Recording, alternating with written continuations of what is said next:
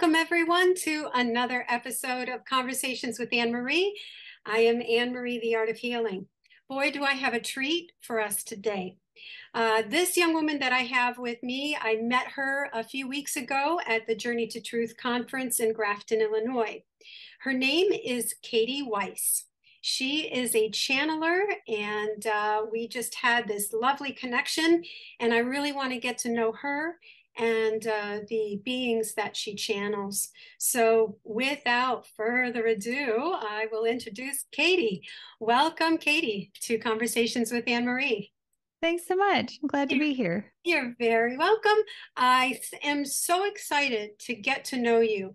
Um, just uh, to let everybody know, uh, we were both at the Journey to Truth conference uh, last month in Grafton, Illinois. And uh, my friend Tyler is like, You've got to hear this woman. She's going to be channeling. And I'm like, Channeling? I channel. So I was like, Let's go. Let me go listen. And uh, you channeled uh, two nights and you brought through two different beings. So, um, can you tell us a little bit about your channeling journey? How is it that you became a channeler? Sure. Um, so it started with, as often happens in awakening, um, a challenge. In my case, it was I got very sick. Oh, okay. Um, so, starting about nine years ago, I started to develop all sorts of mysterious symptoms that continued to evolve and get worse. And as I'm sure some people can relate to, when the Western doctors started to run out of answers, you turn to the Eastern doctors. And when they run out of answers, you sort of start breaking into new ground, perhaps yeah. areas that you might not have ever contemplated. Mm-hmm. And um, one of those things that I looked into or started researching was channeling. Mm-hmm. And I thought, hey, isn't this pretty cool that you could access some other perspective that could maybe give you some other look at what it is that you're going through and why. And so one night I opened to the connection and I was very surprised when I felt something on the other side. Wow.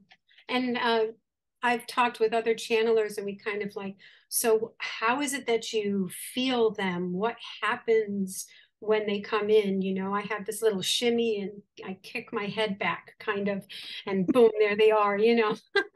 So i'm just how does that feel for you? How does that feel? Well in the early days i got chills and i thought i was always coming down with the flu. Oh, sometimes okay. i was because mm-hmm. uh, i was very sick.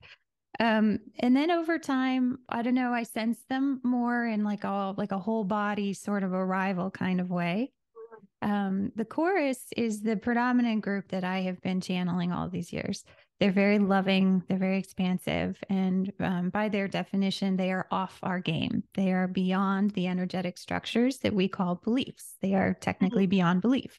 Right. So they have this very long distance, cheering us from the sidelines kind of perspective where everything is amazing and awesome. And so most of the time I knew I had reached them by feeling sort of like a ah, an ease, like a, re- a release, a relief, sort of just an like an okayness all of a sudden with everything that was happening. Mm-hmm. And what did they tell you about your illness? Well, something that is uh, divinely perfect or divinely annoying, however you want to look at it about the chorus, is that yeah. they are uh, exceedingly unspecific.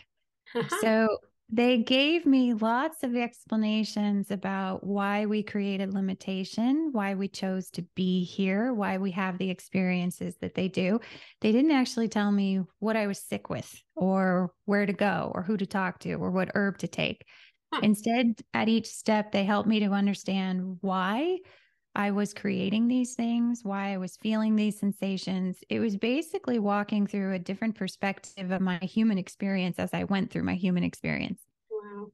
Now, in the moment, it felt really soothing because I was in or connected to their perspective where all of this is an achievement mm-hmm. and was something we all chose. But coming back down into my 3D perspective afterwards was very challenging. And sometimes I'd had enough of them. Yeah. Sometimes I was frustrated. Sometimes I despaired. I was very depressed. Mm. But eventually I would start to integrate whatever it was they had just taught me. And then I'd go back up the ladder again with another question of, I wonder what they would think about this. Yeah. So it was definitely an oscillation. And over time, I do feel like I started to evolve in my understanding of what I was going through. Mm-hmm. And then as that happened, the symptoms started to change, not because I was attacking the symptoms or trying to get away from them or solve them or whatever, but because I had sort of broadened in my perspective of what illness was. Mm-hmm. And I think sometimes illness is an engine for us. It drives us around through beliefs. It, it helps us in our awakening process. And I think I got to a point in my awakening process where I just no longer needed the engine of illness in the same way. And the symptoms dissipated. That's fascinating. I'm going through my own healing journey, so I'm very interested in how people, um, you know, got themselves out of the dis-ease, you know, that we create yeah. for ourselves. Wow, that's beautiful. And how many years ago ha, uh, did this occur? That they came um, to you? And I'd say about nine. About nine years oh. ago was when I started to really get sick, and that's when I started sort of looking into my spirituality in earnest. Mm-hmm. Um, but you know, it's I think for most channels, it's like when did it officially start? I think most of us open and start to sense things, and then it turns into more and more specific words. Yeah. So somewhere, somewhere in the last nine years, this started to become more more tangible, more what it is today. And so, how did you approach this new uh, ability or gift that you had? Did you keep it to yourself for a long time? Did you automatically start videos, or how did you react to it? Um, I definitely wasn't sure it was a gift. Mm. I felt that it was interesting and had possibility, but I wasn't convinced yet that it was safe for me or for other mm-hmm. people. Okay. So I spent quite a number of years sort of testing it and running my own experiments. So okay. I would I would write down my question and think of the best possible answers I could think of. Then I would bring through their perspective and then I would let time pass. Time I think has been an important ingredient in this process is I would let it sit come back to it days later. Mm-hmm. And not only most of the time had forgotten the things that I had written down, but I had definitely forgotten what they said. So it was like a clean comparison. Mm-hmm. Um, I started trying to connect to them at different moments in my life, mm-hmm. sometimes consciously, sometimes unconsciously. So I would try channeling while I was walking or driving or at the grocery store around other people or not. Um, but then going through my illness in the beginning, I had to be sort of in a calmer place mm-hmm. to believe that I was really hearing what I thought I heard. Mm-hmm. Um, but as I went through my illness, I mean, there were just times where I was really, really sad or really pissed off. Mm-hmm. And I found that I could reach them too in those moments and then still hear their perspective. Right. So it really wasn't until about a couple years ago that I we wrote our first book together, the Book of Human Awakening. Oh, wow. Their their title. Their ambitious title. Hmm. And then uh, following the first book, I have it here too. And um, something that they do is they send over some of their information to me in sketches. Oh. And so oh. the book contains some of the original sketches that they sent to me. Okay. I don't know if you can see it with the background. I know it's tough. Um, so, anyways, their first book, The Book of Human Awakening, is sort of an overview of the awakening process. So, aspects of our reality, how we created it, time, you know, distance, body, but also they talk about kind of our emotions, like what is fear energetically? What is a definition of loss of control energetically? How do they see these things that we experience? Um, and so then after we wrote the first book, I started our podcast, which is called Our Next Existence. Oh, and in each episode, the chorus, I channel a message from the chorus, and then we discuss it in human terms. You know, they'll give like this sort of 80,000 foot view of awakening and this and that and the other. And, you know, and then we discuss, okay, but what do you do when someone cuts you off in traffic? Like, how does that apply to our reality and how do we feel about it as humans. So it's really only in the past couple years that I've started doing these projects. The second book is about to be released. Uh, the second book is their coverage of time. And we just finished the second season of the podcast. Oh, fantastic. Their concept of time. I mean, I've channeled about time and I've I've been told that we have much more control over it than we believe. That we can manipulate it in many, many different ways especially like when we're in something like in the creative process, then time almost suspends itself. And um, let's see what else was I told about it. That's beautiful. Yeah, pretty much, pretty much that, you know. So can you reveal a little bit about what oh sure You say? Um so the chorus views basically our ability to remember as as practically a revolution on our process to awakening. Because by their view remembering is actually just energetic connection. When i remember another time i am i'm actually connecting to that frequency. And they're like you were here for a long time in a very limited perspective and didn't remember anything. Mm-hmm. so the fact that now you know many of us can remember big chunks of our lifetime but also as you know, I'm sure you're aware, and probably some of your listeners are aware, we're having memories of other lifetimes or other experiences in this lifetime, right? There are more connections taking place energetically across frequencies. Mm-hmm. And they say that this has a lot to do with not necessarily, but it could be changing our versions of time, but also expanding beyond the aspects of linearity mm-hmm. that we all express they're like, yeah, you can look at it as linear time. And, you know, you did, you created that as you started to expand. Mm-hmm. But what aspects of you are linear that caused you to narrow into this definition? So, for example, we have a concept called being interrupted. Mm-hmm. Every human, everywhere on the planet, can express that sensation, right? Where it's like, oh, I just got this. And now, you know, someone's at the door. Mm-hmm. They said the reason you have that experience is because you have something called a mental projection. You do these unconsciously all the time, mm-hmm. where you're constantly putting out the direction or the string of events that should take place. We do it as soon as we wake up in the morning. Mm-hmm. We do it when we get to work and we have an idea of what our day should be like. Right, right. And so they say when something comes in that's not in the mental projection, you sense it first by way of that sensation of interruption before you've even consciously put a name on what the interruption is or what it interrupted. Mm-hmm. So they're saying, as we sort of expand in our ideas of like anything could happen, I'm here in the present moment.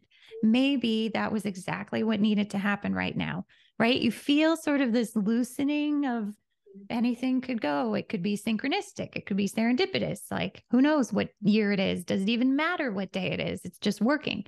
They're mm-hmm. saying that these are the things, these are the beliefs that are expanding us into a more conscious control of time, or really a release of the limiting aspects of linear time into a place where our desire and our manifestation becomes the forefront.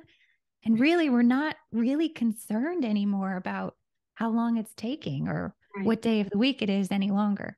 Mm-hmm. We we really, uh, as a society that has been trained to really pay attention to the time. You know, you've only got this much. No, this is the next class. You know, we've got all these stop points in our flow. Um, I had something really beautiful to say, and it just went right out the window. Um, you know, we're trained to do that. Oh, now I know what it is.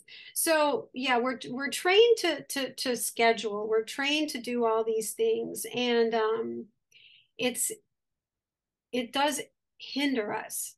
And um, I also uh, heard someone say that they experienced anomalies whether it be like a visitation from uh, some other dimension, an extra dimensional, uh, when they couldn't see the clock.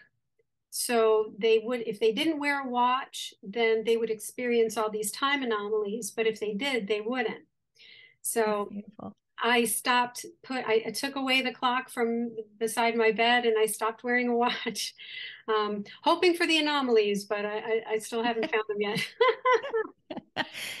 yeah. So in the be- in the beginning, when the chorus and I started talking about time, they would jokingly call me clock worshiper, Ooh. and I I didn't understand. You know, I didn't understand completely what they meant. I mean, sure, I did like, okay, like I'm always checking the time and how long is that going to take? And am I going to get there on time? But this is where they started to point to the overarching aspects of time that we embody. Meaning, I didn't realize that as I got into an activity, there was a certain amount of time that my beliefs would tolerate unknown mm. before it would be like, I got to figure this out. Like, I've had enough rummaging around. Like, I just got to pick right? Mm-hmm. So there were these aspects of time that they would point out to me and they would be like, clock worshiper. And I'd be like, what? What did I just do? I didn't even look at a clock. uh-huh. It was, you know, but in the moment then I would I would feel the sensations of time that were driving my action.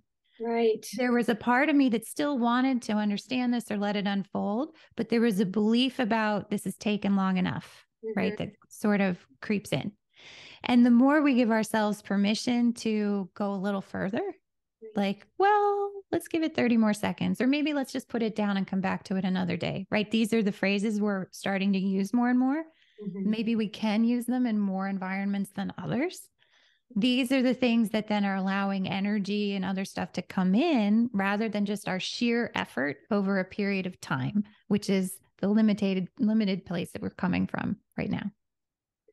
I've been uh, channeling about the go, go, go. Uh, that concept, that program that we have, that we've got to we've got to produce, we've got to get up and do things, and you know, God, you know, God forbid you rest, God forbid you take a pause, you know.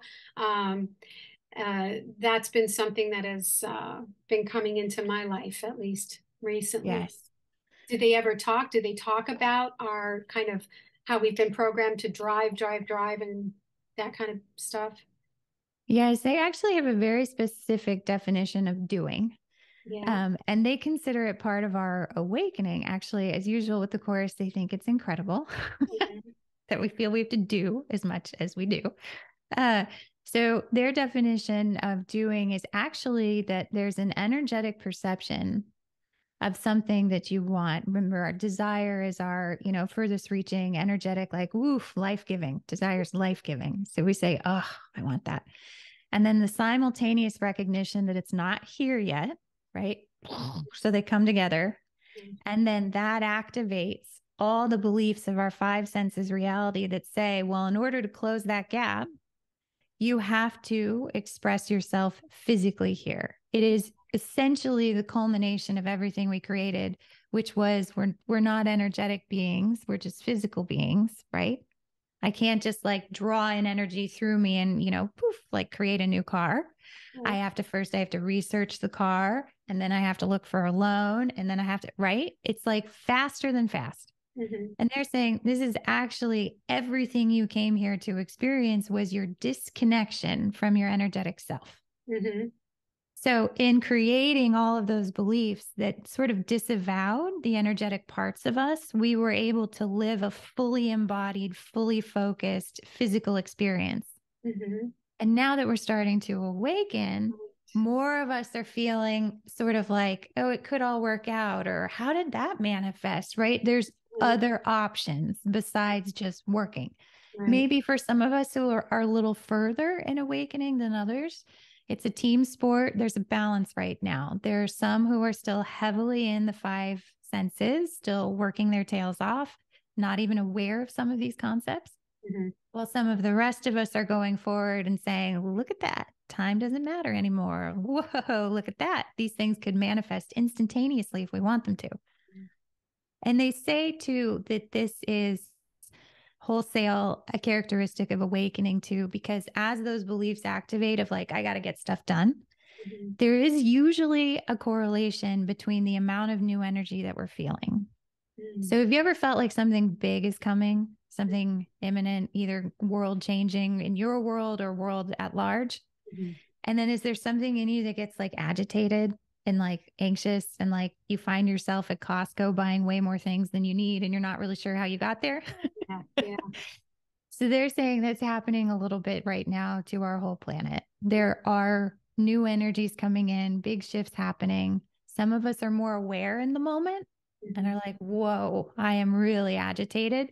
And as places that I've been, some of us are less aware and just find ourselves deep cleaning all of our closets and we don't even know why we're doing it. So as we move forward into this new energy, that will shift, that will evolve. But they say you're a little bit of a hurried group of people right now because you feel an immense energy coming in. Mm-hmm. And you say to yourselves, how can that all fit in our definition of linear time? I better get going. I mm-hmm. better get up and go. Yeah. And as these things start to come together and we sort of rewrite our understandings, what will happen is we'll find out that every moment has infinite time. It can fit in any amount of energy. Mm-hmm. But first, we have to sort of release these things that we created mm-hmm. about limited or scarce time. Mm-hmm. Is it a release of expectation or a release? Uh, you know, how how would you further kind of like just elaborate on that? So sometimes what's being released is like you said expectation there's a mesh here our our reality our five senses reality is what they call a group consensus mm-hmm. meaning we all play together right we all update a similar database right. and we are all capable of similar things by way of how we define ourselves mm-hmm. us as earthling humans perhaps you could say of this day and age mm-hmm. So, as we begin to loosen our connection to others by way of uh, obligation, guilt, responsibility, we have so many words for the ways that we sort of average ourselves into the group consensus. Mm-hmm. Then, yes, we will be stepping into more of a space that allows for greater possibilities. And in those spaces of greater possibility, we may manifest any number of things that's pertinent to our own paths of awakening. Mm-hmm. But one of the first sensations of that is you will feel sort of a more expansive quality of time. This happened for a lot of people in COVID. Mm-hmm. COVID, as we know, was like a reality bender because some people had awful experiences and some people had total awakening, beautiful experiences, right? There was a gazillion realities happening.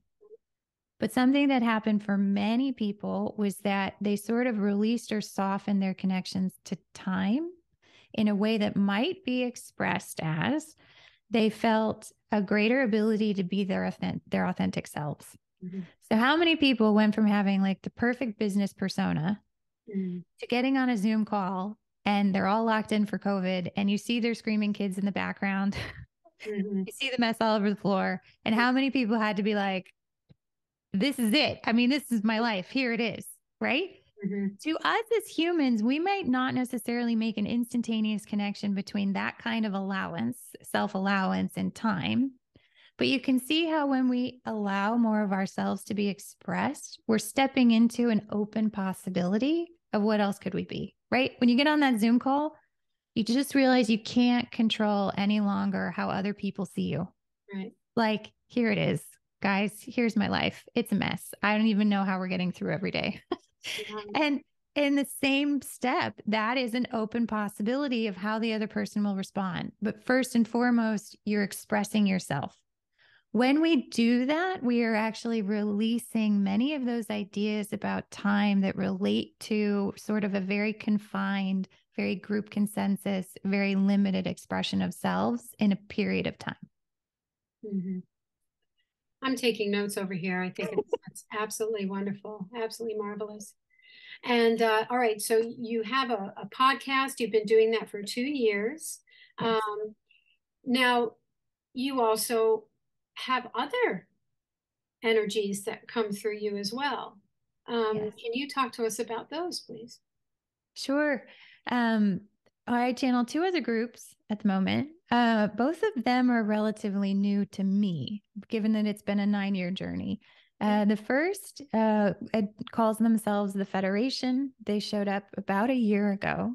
Mm-hmm. And I now understand that that name is like a charged word. There are a lot of definitions, and a lot of people who say they channel them. At the time, I didn't, I didn't know any of that.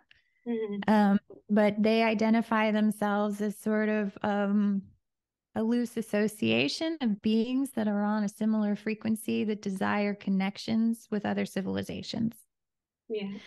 So, a lot of the topics that they like to discuss are about humanity, why we do the things we do, and how they can better connect to us. It tends to be very high level um, and practically strategic in terms of They describe why they came here, why they sort of have tried to reach us in the ways that they have, things like that. Um, and I think in recent months, I've begun to understand that some of what they're expressing is is the star seed experience, or as we have collectively come to know the star seed experience. They describe um, the volunteers why they thought that would be an effective strategy in in particular among our beliefs. Yeah. Um, how it would potentially help us create off ramps from the karmic wheel that would help us to remember mm-hmm. and reconnect. Um, because essentially we have a schism of consciousness between our conscious selves and our unconscious selves. And when they incarnate here, it's one of the few ways that they have been able to reach the conscious parts of us over periods of time. Mm-hmm. So they incarnated across many moments in our linear timeline. So, by one view, you could say they've been here for a really long time. By another view, you could say they just arrived, but they've been arriving at simultaneous moments, mm-hmm. whatever your definition of time you like best. Mm-hmm. Um, and that by incarnating here, star seeds are sometimes able to generate beliefs that hold greater possibilities. And so, because they're conscious here, they contribute to that database. Remember, like we were saying, it's a group consensus. Mm-hmm. Well, they come in and now they're a member of the group consensus. So, mm-hmm. as they start to have unusual experiences as a child or are able to remember more things as an adult. Those things get sent into the database as possibilities that all of us can access. Mm-hmm. So, the strategy of sending in the star seeds was basically a tipping point strategy, mm-hmm. where if you sent in enough of them over all the periods of time and they were able in some ways to hold on to an expansive sense of possibility, ultimately there would be so many beliefs of possibility added to the database that the group consensus collective mm-hmm. could sort of move in that direction and we would all sort of exit the karmic wheel right. if you want to. Right. I guess most of us, star seeds or whoever we are, are here to uh, open the expansiveness of our understanding of who we are. Um, do you think that this group, the the um, the Federation, right? So is it there the upper consciousness of the beings that incarnated? Is that who they are? There are beings who have incarnated here that, like all the rest of us, have um, a larger energetic self that we don't consciously connect to while we're here. But that was sort of our invention of the game board, not necessarily something they created as, by way of coming here. Mm-hmm. They wanted to connect the two together. And in fact, by by their own description, they arrived here because they sensed an energy of connection of it being emanated from humanity. Right. So when they arrived and they found this schism of consciousness, they were having conversations with our energetic parts of us all the time. Hmm. And they were, you know, waiting in some ways for, you know, this final coming together to happen. Okay. And then it didn't happen. And then it didn't happen. And then it didn't happen. So they ask the energetic parts of us, what is this thing that you created? What is this physical reality? And why is there a part of you locked in there that we can't reach? And hmm. they said, according to them, the energetic parts of us were just as mystified by how this had been created. Hmm. So they basically came to a fork in the road, which was do we keep waiting for this reunification of consciousness to happen like we thought it would? Or do we sort of maybe figure out how to incarnate in there? Do we send people in to see what it's like inside of this reality that we can't really understand from the outside as energetic beings? Yeah. So, as I think many know now, um, they they sent in a few volunteers. Mm-hmm. Now they had hoped that those volunteers would incarnate, would be birthed into the belief systems, and would still somehow be able to access mm-hmm the energetic connection to the rest of the Federation. That proved to be more difficult than they thought. But then, moreover, when those souls died, they got stuck in our wheel of karma. So, again, by their description, they said, well, then we had a choice to make. We could either just let our volunteers kind of hang out in your reality and hope that they would reunify when you all reunified, or we could take action and send in more volunteers. Hmm. And by their definition or description, they sent in more and not just a handful more, but many, many, many more came and incarnated here. So they are they are us, they are among us. You know, honestly, I have I have many perspectives now on how you could look at this, right? Like from our human perspective here, you could be like, wow, like I could understand if I'm a star seed based on this or based on that. And the Federation might even tell some of us, like, yep, you're a star seed. But then I've also had this now nine year running conversation with the chorus who sees all the broad aspects of our game. And they say that if we meet any other beings who share any beliefs of finiteness or insufficiency, meaning they are not infinite in some way. Maybe they experience death in some way, or maybe they run out of gas just like we do. If there's some expression of that, they're in the game with us. Hmm. So, this makes the definition of who's playing really big because wow. you could come across a being who lives for 80,000 years, but then does that being have a death like experience? Well, then they're not infinite. They're finite like us. We're in the same game. Mm-hmm. So there are times when I feel like the Federation is in the game with us, which means that we're all awakening to something that maybe we've all forgotten something, that maybe the Federation doesn't completely remember things and maybe we don't, but we're all starting to come back together here under the guise of this earth needing to be saved. But there may be sort of a larger awakening at play. Mm-hmm. And this is where the chorus in the second book has a series of illustrations about their version of our history. Mm-hmm. And they talk about how at one point we were great, energetic consciousnesses in the universe and creation and you know sort of our progression through destruction. We were powerful forces of destruction all the way up to putting ourselves in what we might classify as an energetic timeout because we were afraid of our own power to destroy. We created a sort of little mini universe of limitation that we wouldn't be able to escape from and we created the experience of forgetting Hmm. And so the chorus is saying, You all are awakening to way back when to when you chose to forget.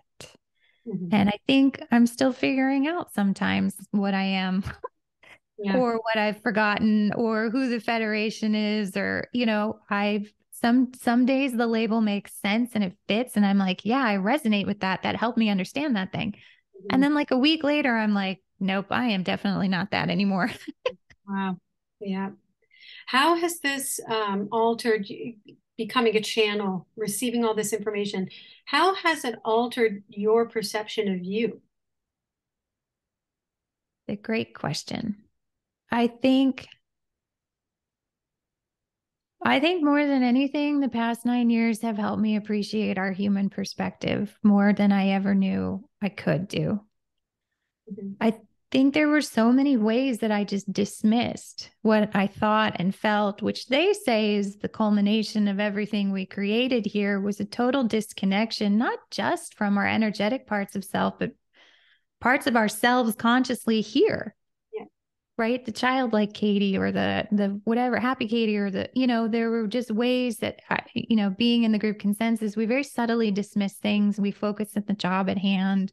We get a job, we do whatever and when you hang out with other beings like this and you ask them a question from your perspective, sometimes the answer is less about the answer and more about it, what it reflects about why I asked the question. We talk about in the start of the second book an experience I had where I was channeling uh, the mountains, I think it was. So I channel the consciousness of the mountains too. They help a lot with the structure of the books that we've been writing. Um, and they are also connected to our history, meaning they're so vast. Right. They span all the eras of time. So they remember aspects of our history. The Federation remembers aspects of our history because they've incarnated over so many moments in our linear timeline. So the mountains are in the second book too.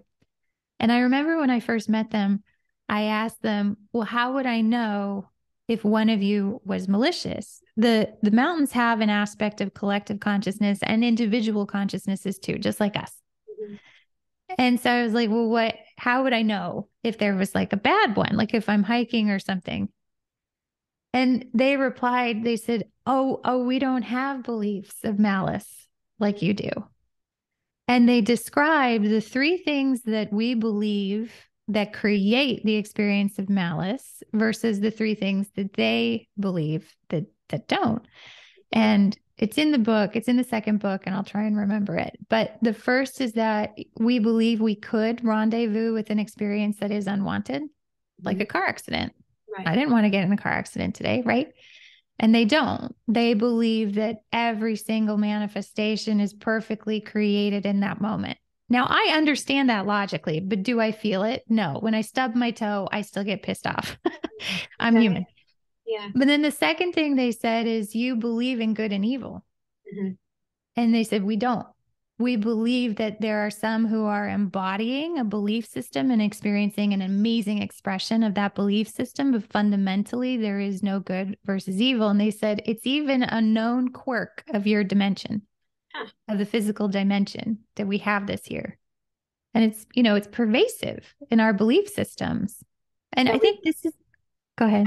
That we believe in evil or that we believe that we believe there is such a thing as good and evil. We believe in that possibility, so we create with that possibility here. Now, every time I heard one of these, I dipped into sort of this moment of like, fuck. you know, it's like God, I'm so human, right? You have this moment where you reach this expanded perspective and you see yourself in a new way, and you're like, well, I would love to believe that there's no good, right? You have this yeah. moment almost of like, I'm at the bottom of the hill again. Like, how do I integrate this? What does that mean? How do I get better? And I think over time, the way that these conversations most changed how I viewed myself was that I started to see that moment more clearly than the expansive perspective I had just been given. And I started to say, what is that? Hmm. Why do I react like that after I've just been given a beautiful answer? Why does that keep happening? Yeah. And I think through that process, I started to realize more of what I am. I started to maybe stop arguing with it so much, stop hating it so much, just sort of allow for the fact that I don't have that perspective. I'm not the mountains. I don't have that perspective. I'm not the chorus. I'm not the federation, but I'm me. Mm-hmm. I'm human, and none of them are.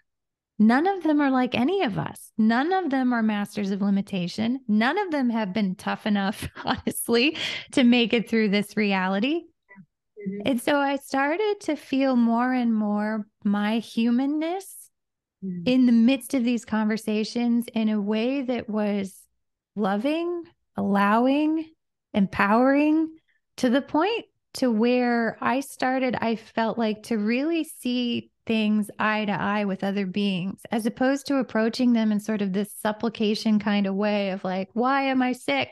You know, that's where I started my journey. And now I sort of, there's less that I feel like I need to fix here. There's more I'm interested in understanding. Right. It just feels lighter. Mm-hmm. It mm. doesn't feel like the bottom of the hill as much as maybe is it the middle of the hill now. I'm yeah. not going to claim I'm at the top of the hill. I know better because I'm human. But it's got lighter. It, it got easier to be me in a universe that's full of a lot of different perspectives. Very nice. Very, very nice. So the the second night that you channeled for us at that convention, you brought through a group called the Ancient Ones. Um, yeah. They spoke a lot about civilizations that were on Earth that they were a mm-hmm. part of. Mm-hmm. Um, I'd love to hear more about how these beings got to you and um, what their intention here with us is. So the the AO we call them the ancient ones um, for sure because I'm not really sure we haven't we haven't labeled them yet either. It's all big open mystery in a lot of these situations, which I think is a good thing at this juncture in awakening. I think it's a little too early for specifics. So I started to hear them when I was on a trip in the US Southwest. Oh. And we went to Chaco Canyon. Mm-hmm. And I started hearing these voices come through.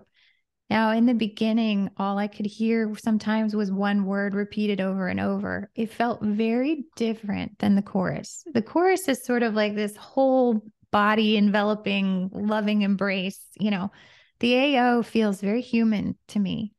Their communication style is, I wouldn't say as linear as ours is, where I have to say one word at a time to you, but mm-hmm. they do have an aspect of um, finiteness or specificity that conveys itself as language, whereas the chorus doesn't. Mm. So, over the next few months, these past recent few months, I've gone to more and more ancient sites and I've been able to hear them more and more. Now I hear them any old time. um, their explanation is that they are from a parallel timeline, if you like simultaneous timelines, or historical place, if you like linear timelines, however you like to define it. Mm-hmm. But they describe that they were sort of part of the decision or were there for when um, a an evil force, you could say, arrived, some sort of invading force, some sort of conquering force, and they separated themselves into basically another reality or another frequency, however you want to say it. And there are remnants of that civilization here that we can still see with our, you know, with our eyes on visible wavelengths of light. Mm-hmm. Wow. Um, have you ever seen them? You're no. saying we can actually physically see them? We can see the remnants of their constructions. Oh, yes. Okay. They do say that we are coming to a place as we expand, our embodiments change, right? If I embody more expansive beliefs, then there's a good chance I'll be able to see more things or feel more things. Most of us are already experiencing this. We're feeling more things. The eyes are going to be, in some cases, one of the last things to change because the eyes were constructed as part of our way of limiting ourselves from being with the universe we rely so heavily on these very narrow frequencies of the visible spectrum of light that we often distract ourselves from the things we're feeling, right? Like, ever walked up to someone extremely attractive? You're so distracted, you don't even hear your heart screaming, like, run away, ah. you know, right? So, our eyes were a part of how we locked ourselves into this timeout for being destructive. So, first, we're opening up other parts of our energetic self, connecting to other places. They talk a lot about the heart, how mm-hmm. our hearts had been closed and now they're reopening. And as they do so, we're going to understand things more rapidly. We're going to connect to more beings more easily. The heart is also a way of traversing frequencies in, in, in other very tangible ways, like time travel or distance travel, however you want to say it some of those songs, some of those frequencies can be expressed by way of the heart, which means we may not necessarily, as humanity, we may not necessarily need devices in the same ways that others do to traverse those frequencies. We have our incredible hearts, which we are now starting to awaken to and remember how powerful those are. Right, right. Wow, that's just lovely. Tell me some of the ways that uh, the uh, ancient ones have kind of like taught you things. Uh, I've, I've heard stories about how you've been at different sites and they sent you to places and you're doing grid work. Can you talk to us a little bit about that? Sure. Um, grid work is a term I learned about three months ago. Oh, okay. when I when we were doing it. So mm-hmm. I I do not claim to be an expert on any of these topics. I am learning as I go. But the things that they have taught me are sort of more about um, our shared history. So when the conquering force arrived, choices that they made. Mm-hmm. And then also how they view our reality and our closed hearts and sort of what they think could help us. So there are physical explanations, like um, some of the pyramids that we see were intentionally disassembled, mm. they say um, that there is still energy that connects there, but that the structures themselves were disassembled in a way that the invaders would not be able to utilize them. in the same way. Um, so that's why they say many of us who are energetically connected, when you go to some sites, you can still feel something. They say, yeah, the energy's still there. The structure was just sitting there to harness the energy. But the structures, some of them were intentionally disassembled so that it would not harness the energy in the same way for the others to utilize. They say that they or we, or however you want to define it, um, we are capable of understanding energy and connecting with it. And that's not necessarily true of every other race or civilization or species out there. Some just wanted to come and basically commandeer our ability to make these connections. They don't they don't have the ability to feel the energy and connect to it in the same way that we do. Mm-hmm. So they like to emphasize that even though some of these sites have been since destroyed and there was a battle and a lot of things have happened, they're like the energy is never lost, right? We'll be able to sense it again, find it again. I think that's happening for many of us all over the world right now. But then on the energetic side, things that they have taught me are about basically the human heart. Now, whether you want to say the physical muscle or, you know, the energetic chakra kind of place, mm-hmm. they've taught me a lot about how subtly and how constantly things in our environment close the heart again, close the heart again, close the heart again. So as we start to open it a little bit and feel a little more and love a little more, you know, there are things here that you could say have been designed to you could also say we signed up for the limitation of right, right, right. shutting down our heart mm-hmm. so i think it's like it's like running through your days with a track coach because as i you know go out into my day i will now be driving in my car or something and i see something awful on the side of the road like maybe two people yelling at each other at, at a bus stop on the way to drop off my kid at school Normally, I would not have been conscious of that moment. My eyes would have veered over to the side and would have seen that. And I would have felt a little, like a little baby heart closing. And now the AO comes through and they're like, ah, that just happened. Did you feel it? And it's amazing. It's amazing how subtly our hearts just shut down, shut down, shut down. Now, left alone, they probably would just continue to blossom but we're awakening from this experience of limitation. And whether you want to take the AO's definition, which is there is an invading force that's here and has created this, or you want the chorus's definition, which was, well, you signed up to be limited and you sure created an amazing experience of limitation.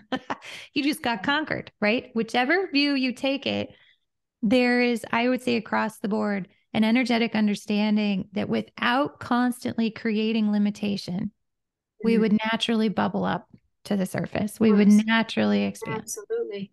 Yes, I've often had the analogy that we're a beach ball and we're being artificially kept under the water that it's our nature to float to the surface that's why they have to poison us that's why they have to to manipulate our our our thoughts and our minds and teach us these horrible routines you know uh, yeah. these awful programs yes Mm-hmm. But, you know, as awakening continues, the heart knows the difference, right? So, what did I do in that example? When remember, we talked about the eyes being one of our greatest blinders and disconnectors from the energy of the universe.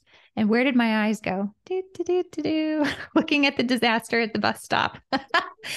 now, if I had been in a heart centered place, mm-hmm. if I had been from that place emanating outwards, there is a good chance that my eyes would have behaved differently differently. But instead, I was churning. Do I have enough time to get that done today? Can I go to Costco and get the gas after I drop him off? Right? Do you feel the difference? And then my eyes went, Oh, we'll show you more limitation to think about. Very good. So mm-hmm. they say, as we continue to go forward in awakening, yes, there are going to be more things that potentially could blind us. But as an equal and rising force, we're going to become more aware of what our heart has to say about everything that we're seeing. Beautiful. Beautiful. Do they often do they say that this evil force is still here? Do they talk about that? Do they talk about us, you know, rising above it? Do they offer us hope, potential hope that this is going to end or yeah, by their by their view and the views of many others, we are still in in the war zone. Yeah, and we're waking up to being in the war zone from within the war zone. I think there's much, much more to our human story that is going to come out over the next few years. Aspects of ancient history, ways we ended up here. There have been cataclysms, as we all know, but there are nuances of those cataclysms that not only show us more about the limitation we chose here, mm-hmm. but also show us more about potentially the ways we're going to resolve this and expand beyond it as a group. So they are very hopeful. Well, first of all, the chorus doesn't even have an expression of hope because to them, there was nothing that ever was in danger of not being overcome. Yeah. We were always going to awaken by their view right. because love to them is is the doorway to the rest of the universe allowance is what creation is creation is expansion mm-hmm. so there's no there's no stuck the idea of being stuck is a human idea that we have been living up to its fullest. so mm. the chorus is like, you are never not going to awaken. All of this is assured. Have a good time. The AO, who is, I would say, in the game, right? Maybe in a parallel timeline, but in the game, tells me that the reason that I and others can start to perceive them right now is because that reconnection is happening meaning we've expanded back to a place of being able to hear them, encounter them, mm-hmm. eventually, I think, see them as we expand into those wavelengths where they are visible. Mm-hmm. So it's already happening by some views. Very good. Very good. Good, good things and hopeful. Very yeah. good and hopeful.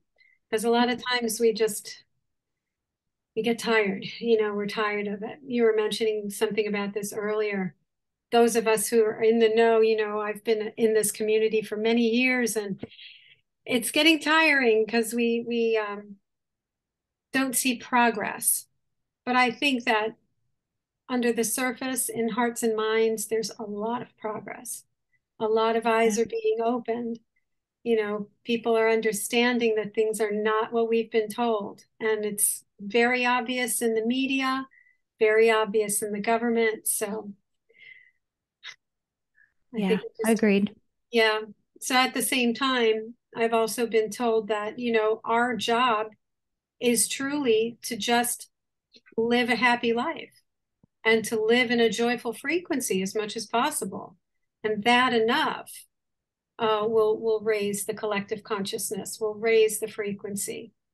So yeah. Do they talk about that?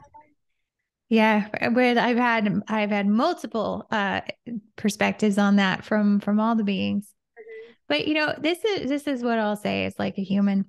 Some days, some days it just sucks. and I get to say that because mm-hmm. I'm here. Some days are just hard. And I have come a long way in letting them be hard and letting myself go buy a pint of ice cream or you know sit on the couch or let my kid have extra screen time because like we're both yeah. feeling the energies you know right. instead of like judging myself about being a mom right so but also i think something that has gotten me through is being able to enjoy the 3d mm-hmm. and some days honestly when it's really hard telling myself that I should enjoy the 3D is like just backfires. Like there are some days that that you can't. You just can't. You're feeling the expansive energies. You know the possibility of those places and the contrast between that and this is intense. Mm-hmm. And the more I have let myself have bad days. The faster they go. It used to be bad weeks, I'll be honest. Wow. And then it turned into bad days and then now it's a bad morning. And sometimes now it's a bad hour or a bad 15 minutes. And I think, like you, many of us who've been on the path, you get more and more aware of these things that you're feeling as they come up. Yeah. And I used to have all these reasons, all these doing reasons that now is not a good time. I'll cry later. I'll cry on the drive home. Yeah. I'll, I'll, I can't deal with this right now. Right. All those things that come up. And now I'm like, well, crying's happening. yeah. Uh-huh. yeah. Whoever's me, around, it's yeah. happening. for me, it's I get mad at myself because I'm letting things upset me. And I get frustrated with myself. But then I have to look and say, well, gosh, you know, we're we're going through it. We're in the weeds. Yeah. We are we are in the battlefield, you know. So yes.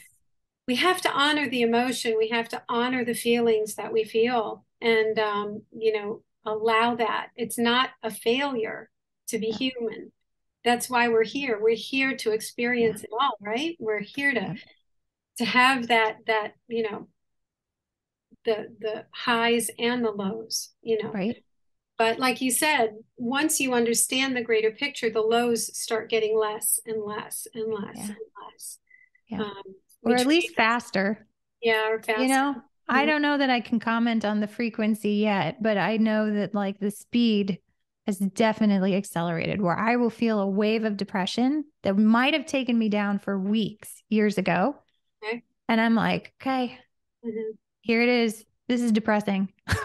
yeah. And then 10 minutes later, I realized that I got a text message from a friend or something, and I was able to just move on into that emotion next. Right it the more we allow ourselves to be what we are the more we're actually releasing all those limiting beliefs and the chorus says the greatest surprise from awakening will be how much potential how much purpose are in all aspects of your emotional spectrum and that really your experience of limitation was disallowing huge parts of you of your emotions. The fact that we're like oh i should feel better. I should be happy or right. that's what we're awakening to.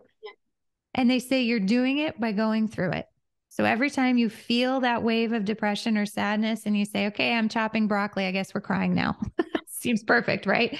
And the more we just let that happen, the more we release those beliefs that told us we shouldn't cry. We can't. It's that heaviness that is leaving us until finally it becomes like a joyful expression of self mm-hmm. all the time and and the hardness the friction of rejecting those emotions trying to control them and put them in a right order that's what goes away right and they said we will find in that place all sorts of things that we're capable of all sorts of beings who are excited to meet us because by way of accepting more of those parts of ourselves that's how we expand into a more allowing and accepting place of seeing, being, experiencing the rest of the universe.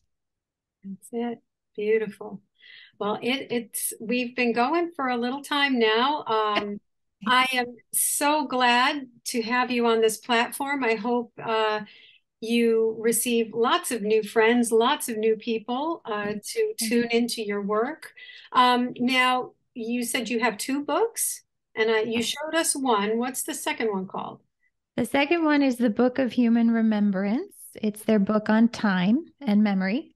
Um, and that one will be released in the next coming weeks. Oh, um, oh, So, so yeah, if you sign up for our newsletter on our website, uh, you'll get announcements of when the book is ready. And our website is katieandthechorus.com. Beautiful. And where do we find your podcasts? Um, it's available on most podcasting platforms, so Apple, Google, Spotify, and it's called Our Next Existence by Katie and the Chorus. Okay. Thank you so very, very much uh, for, Thank for you. some time with me. You're lovely. I can't wait to do things with you in the future. Oh my goodness, I'm forgetting probably one of the most exciting things. I was wondering if you would bring one of your groups through to give us a little message or something. Sure. Right now, or are we over time? No, you... we're okay. We can do it. Okay. Who would you prefer to hear from, the chorus or the AO? Oh, I don't know. Probably let's do the chorus since that's yeah i felt that too. Big big picture kind of people. Big love kind of kind of beings. Uh, yeah. Thank you. All right. exciting.